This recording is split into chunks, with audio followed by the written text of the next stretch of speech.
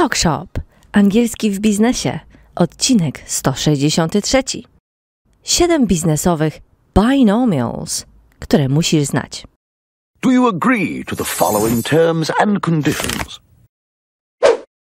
Hi there, it's Carolina from ASAP Speak and Play. W języku angielskim jest wiele zwrotów, które używają dwóch słów połączonych spójnikiem and. Na przykład peace and quiet, fish and chips. Te wyrażenia są znane jako binomials. W tych frazach kolejność wyrazów jest zwykle stała. Mówimy peace and quiet, a nie quiet and peace. Nie zawsze łączy je and, ale także inne przysłówki jak or czy by. For example, more or less, give or take, step by step, bit by bit. W dzisiejszym odcinku przećwiczymy 7 popularnych biznesowych par słów, czyli binomials, związanych z finansami, biznesem i analizą. Are you ready? Let's go! 1. Pros and cons. Za i przeciw, zalety i wady, plusy i minusy. In other words, pros and cons are the advantages and disadvantages of a particular decision or action, czyli to wady i zalety konkretnej sytuacji. Listen and repeat. Posłuchajmy wad i zalet. Let's hear pros and cons. Let's hear pros and cons.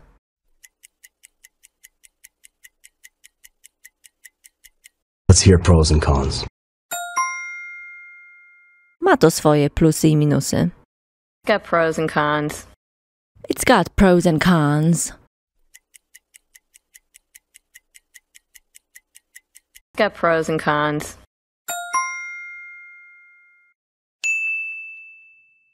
Two. Do's and don'ts. Co należy robić i czego nie należy robić. What one should and should not do in a particular situation. The do's and don'ts pochodzi od what you do and what you don't do. Możesz często usłyszeć albo zobaczyć do's and don'ts w artykułach czy wideo opisujących wytyczne dotyczące jakiegoś zachowania.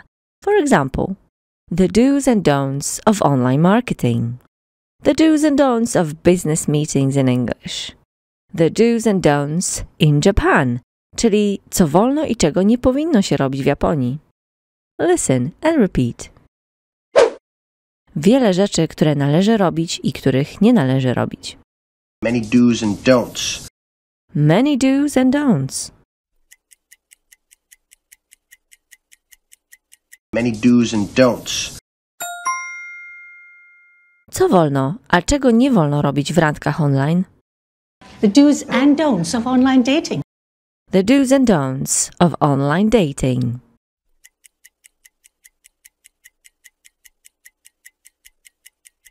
The do's and don'ts of online dating. Three. Supply and demand. Popyt i podaż. Po angielsku jest odwrotnie niż po polsku. Supply, czyli dostarczać. Demand to żądać. Biznes dostarcza. Supply to co klient żąda. Demand. Supply and demand. Listen and repeat. Prawo popytu i podaży to prawo handlu. Supply and demand is the law of trade. Supply and demand is the law of trade.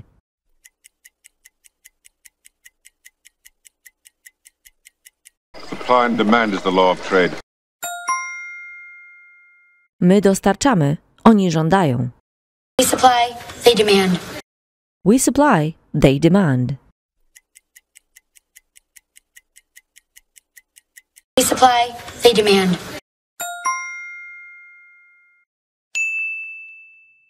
Four. Assets and liabilities. Aktywa i pasywa, albo aktywa i zobowiązania. Assets and liabilities are key components of a balance sheet.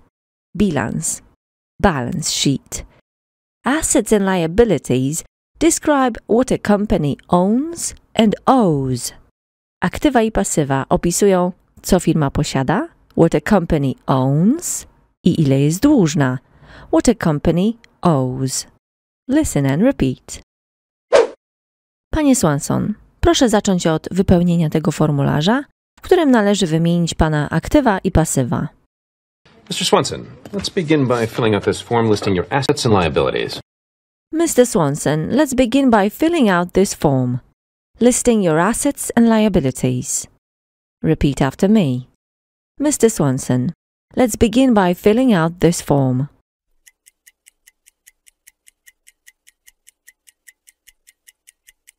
Mr. Swanson, let's begin by filling out this form.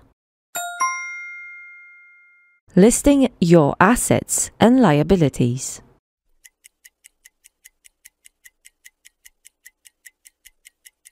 Listing your assets and liabilities.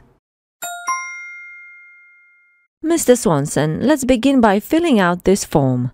Listing your assets and liabilities.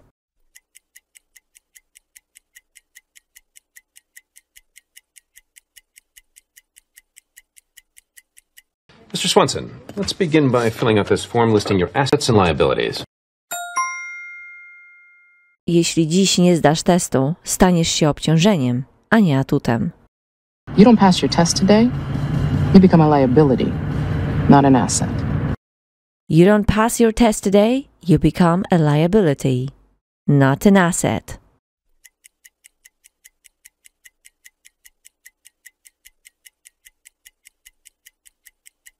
You don't pass your test today, you become a liability, not an asset.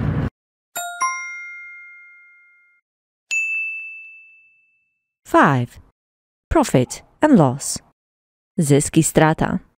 W finansach może się często spotkać z terminem profit and loss statement, czyli rachunek zysków i strat, inaczej też zwany income statement. Listen and repeat. Przejdźmy przez rachunek zysków i strat. Why don't we go through the profit loss statement? Why don't we go through the profit loss statement?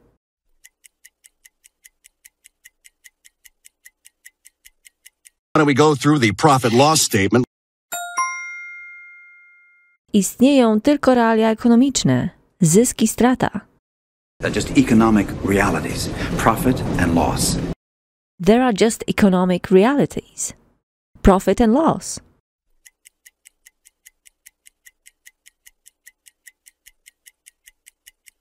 They're just economic realities profit and loss.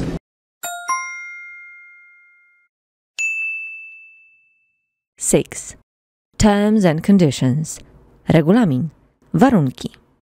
Terms and conditions are the rules and guidelines that one must agree to in order to use a service or enter into a contract. Czyli są to zasady i wytyczne, na które należy się zgodzić, aby skorzystać z usługi lub zawrzeć umowę. Terms and conditions. Listen and repeat. Wszyscy przeczytaliśmy regulamin Millhouse. We've all read the terms and conditions, Millhouse. We've all read the terms and conditions, Millhouse.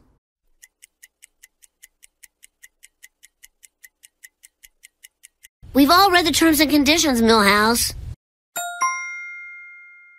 Czy zgadzasz się z poniższymi warunkami? Do you agree to the following terms and conditions? Do you agree to the following terms and conditions?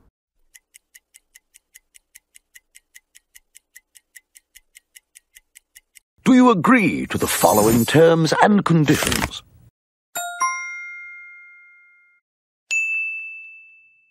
Seven. Cost and benefit. Koszty i korzyści. Listen and repeat. Powinieneś sporządzić analizę kosztów i korzyści. You should write up a cost benefit analysis. You should write up a cost benefit analysis.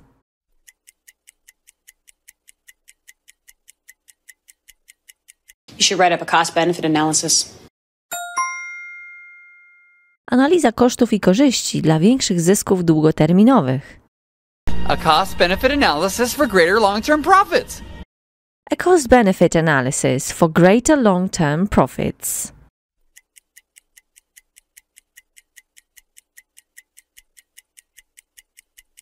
A cost benefit analysis for greater long term profits. Well done. Quiz time. Translate to English. Jakie są koszty i korzyści?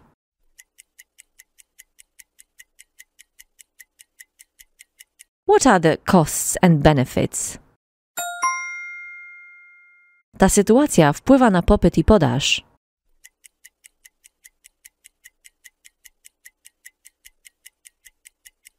The situation influences both supply and demand. Przeczytałeś regulamin? Have you read the terms and conditions? Zysk i strata. Profit and loss. Omówmy, co wolno i czego nie wolno w budowaniu zespołu.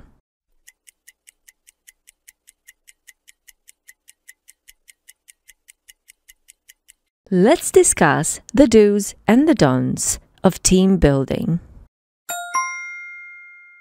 Muszę sprawdzić ich aktywa i pasywa.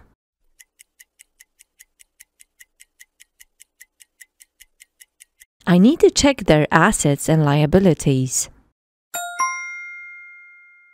Good job today. Mam nadzieję, że dzisiejsza lekcja była przydatna i od teraz zaczniesz szybciej dostrzegać binomials podczas czytania czy słuchania angielskiego, aby rozszerzać swoje słownictwo. Thanks for today. Till the next time. Cheers!